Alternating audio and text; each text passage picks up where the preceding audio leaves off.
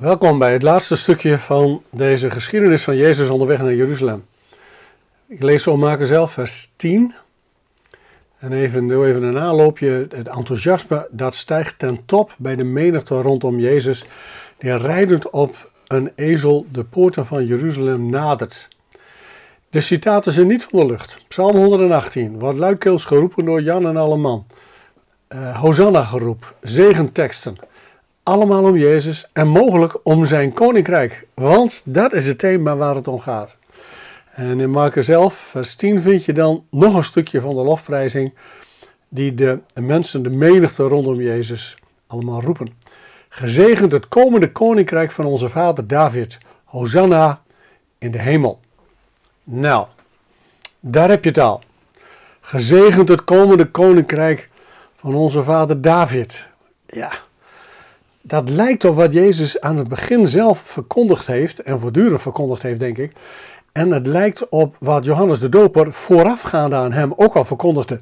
Namelijk dat de koninklijke heerschappij van God nabij was. En dat mensen er goed aan deden om daar klaar voor te zijn. In het reinen met God moesten komen. Dus er is overeenkomst. Het is niet per ongeluk dat ze dit roepen.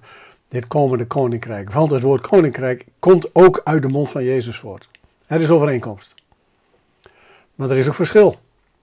Het koninkrijk van David heeft duidelijk een politieke en een nationalistische lading. Een koninkrijk waarbij de vijanden uitgedreven zijn. En Jezus is degene die David vertegenwoordigt. Jezus en onze vader David. Denk aan Bartimaeus, wat die riep.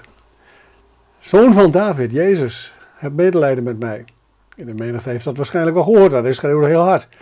En hij wordt vervolgens door Jezus genezen. Dan wordt volgeling en is bij die, bij die menigte aanwezig. Ik denk dat het nog eens dat idee weer echt uh, heeft doen opleven. Jezus, die de koning is, omdat Gods koninklijke, koninklijke heerschappij in hem aanwezig is. Jezus als koning van de Joden. Laat dat nog net de kern van de beschuldiging zijn later.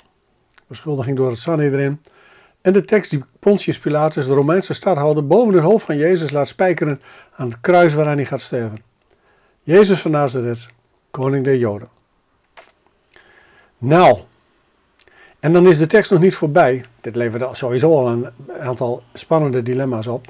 Maar de tekst is nog niet voorbij, want dan roepen ze er nog achteraan: Hosanna in de hemel. Letterlijk staat er: Hosanna in de hoogsten, in de hoogste hemelen.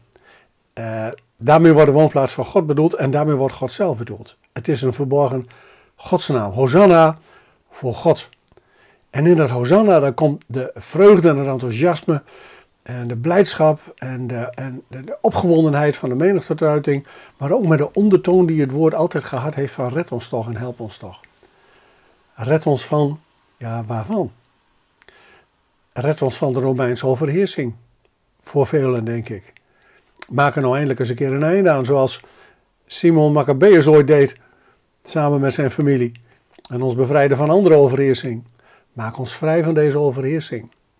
De menigte verwacht het van Jezus. Er gaat iets gebeuren. Er komt een demonstratie van heb ik jou daar. En daar zullen de machthebbers naar moeten luisteren en kijken. En God zal persoonlijk ingrijpen door deze Jezus. Nou, wat een kookpot. En wat zitten er allemaal voor verwachtingen in? Jezus weet wat hij moet verwachten. Dat heeft hij driemaal aangekondigd inmiddels. Lijden, sterven en opstaan uit de dood. De leerlingen hebben het gehoord. Ik denk dat die een mengelmoes van vrees en vreugde hebben op dit moment. Opgetogenheid over de ondersteuning van zo'n grote menigte. En tegelijkertijd in hun achterhoofd het knagende gevoel van in de voorspellingen van Jezus klinkt heel wat anders door. Wat denkt de menigte? Vermoedelijk, dit gaat hem worden. Nu nog even verder en het hele land komt in opstand, al gooi de Romeinen eruit. Wat denken de Romeinen?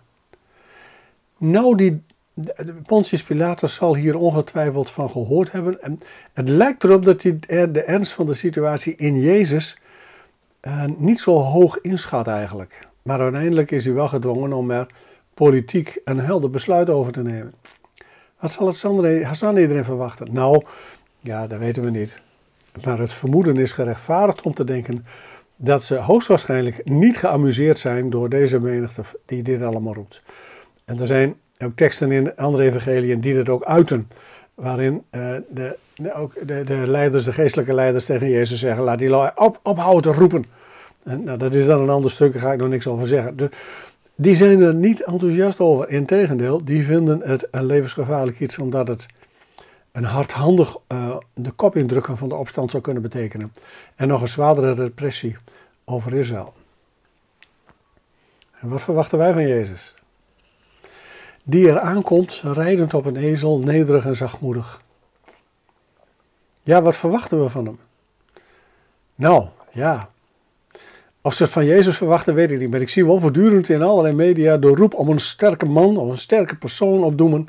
die uiteindelijk uh, een duidelijke leiding moet geven in alle problemen. Van Nederland in alle problemen van de wereld. Er moet een krachtige held opstaan. Is Jezus die krachtige held? Ja, dat is hij wel, maar op zijn wijze. Dat is hij door vastberaden de route van het lijden en het sterven te gaan. Voor ons. Om daarna door de macht van God op te staan uit de doden. Zo wordt hij de krachtige held.